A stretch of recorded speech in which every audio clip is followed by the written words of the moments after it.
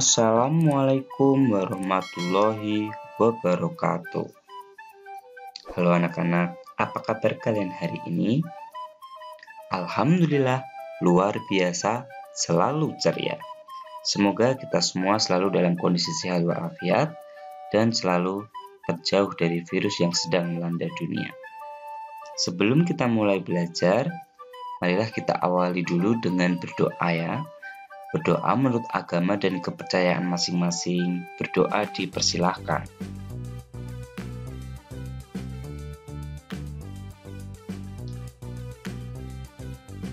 Berdoa selesai.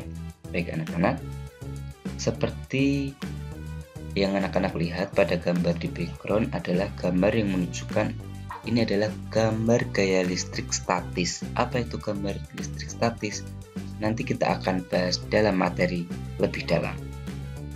Materi kali ini adalah materi kelas 4, tema 7, subtema 2, pembelajaran 1. Kalian telah mengetahui bahwa di Indonesia terdapat beragam suku bangsa. Keragaman suku bangsa mengibatkan keragaman budaya, termasuk cara hidup sehari-hari. Untuk lebih jelasnya, mari kita baca bersama teks berikut ini. Berjudul orang Kanek Kesi suku Baduy. Banten merupakan sebuah provinsi di Pulau Jawa bagian barat. Provinsi Banten memiliki kekayaan alam dengan pemandangan indah termasuk pegunungan dan pantai. Di pegunungan, kendeng dengan ketinggian 600 meter dari permukaan air laut.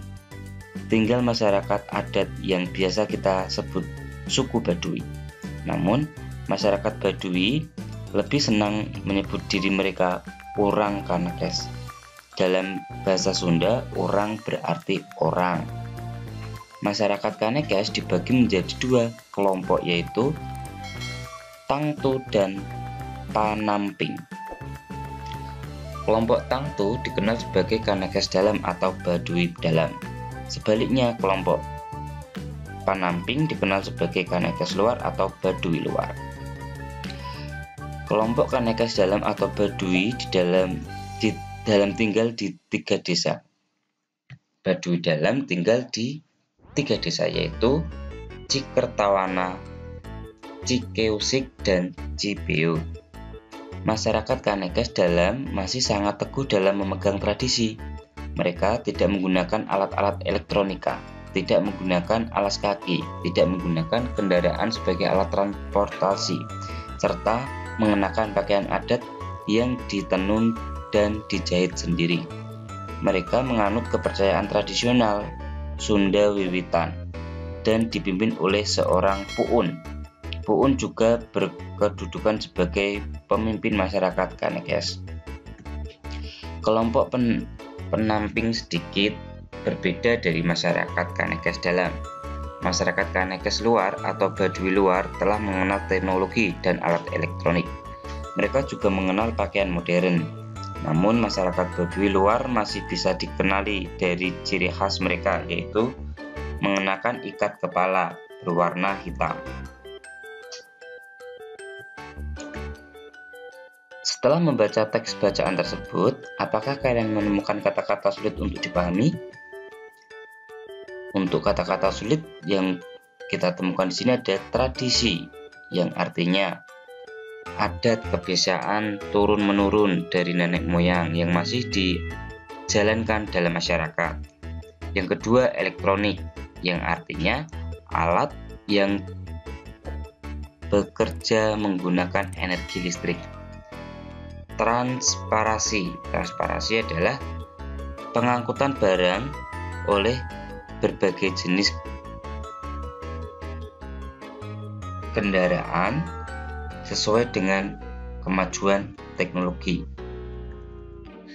Teknologi Teknologi adalah sarana untuk menyediakan barang yang diperlukan bagi kelangsungan dan kenyamanan hidup manusia. Yang dimaksud kata sulit ketiga ini bukan transparasi, tetapi transportasi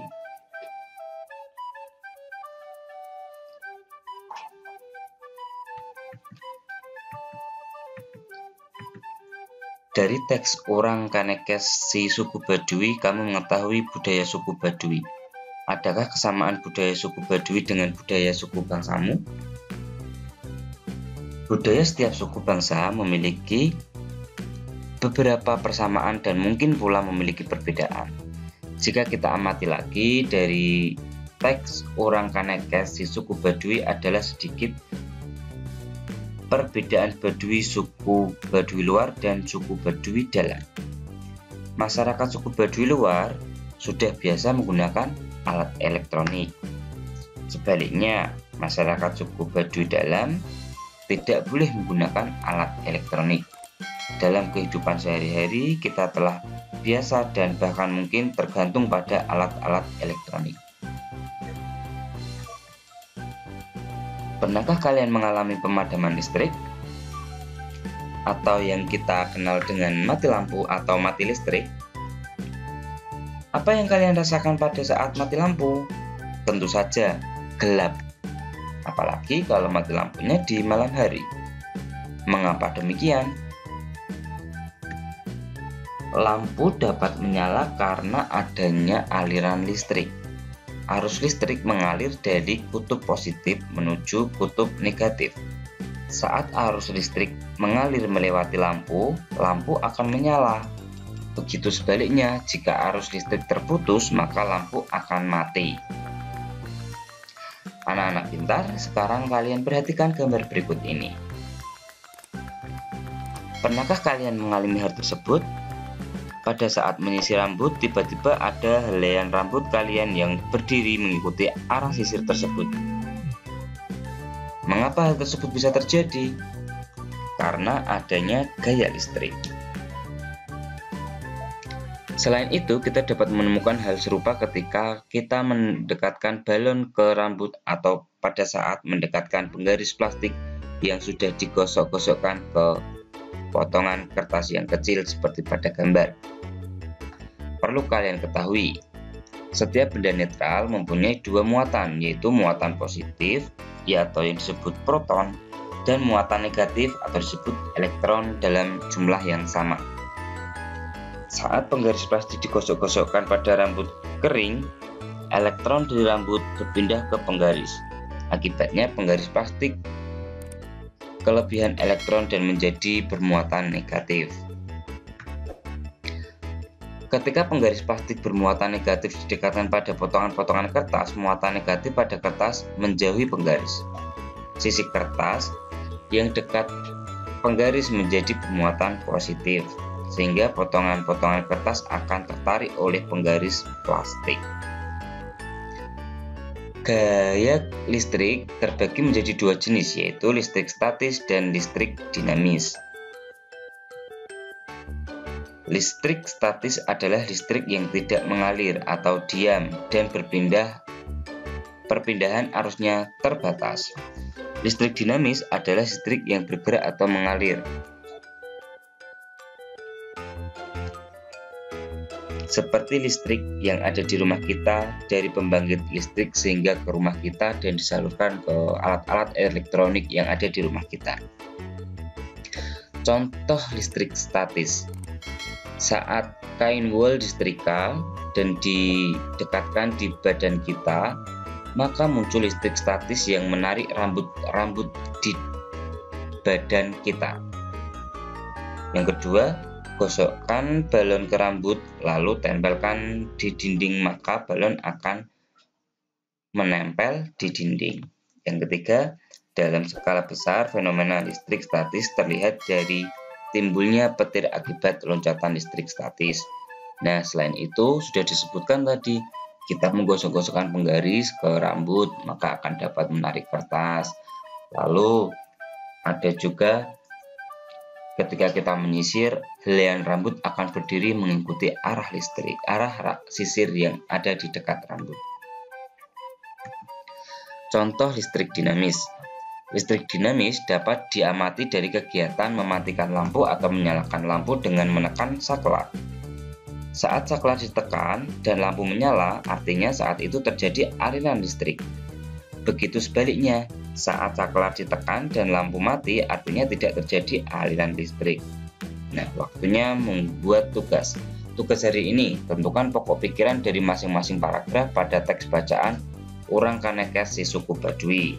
Tugas yang kedua, lakukan percobaan yang menunjukkan adanya listrik statis dan catat atau ceritakan secara detail dan rinci hasil percobaan pada buku tugas kalian. Jangan lupa waktu percobaan tetap didokumentasi, difoto, dan dikirimkan. Demikian materi kita kali ini.